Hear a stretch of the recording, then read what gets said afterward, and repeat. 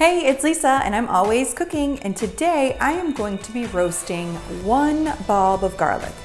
I hear ya. You don't feel like going and buying 16 bulbs of garlic and then peeling 16 bulbs of garlic. I understand. So today I'm going to be roasting one singular bulb and I'm gonna show you how stupid easy it is to roast garlic.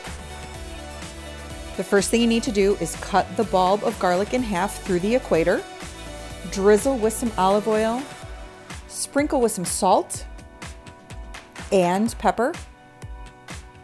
Put the ball back together and close the parcel up.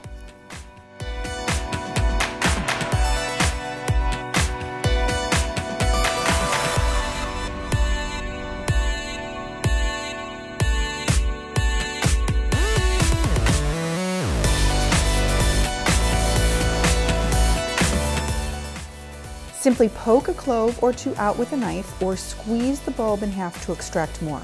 Store in an airtight container in the refrigerator. So what do you use roasted garlic for? Everything. Any recipe that calls for garlic, you can use roasted garlic. And I will be honest that as much as I love garlic, I do not like raw garlic. So anything that I'm going to throw a raw garlic clove in will never have a raw garlic clove. It will always have a roasted garlic clove.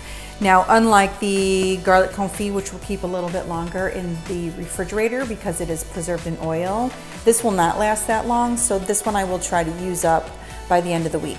So anything that calls for garlic this week will get a couple of cloves of these. Uh, this is already cooked, so just remember it doesn't need to be tossed in at the same time raw garlic needs to be tossed in. This just kind of needs to be stirred in to incorporate and heat up for recipes.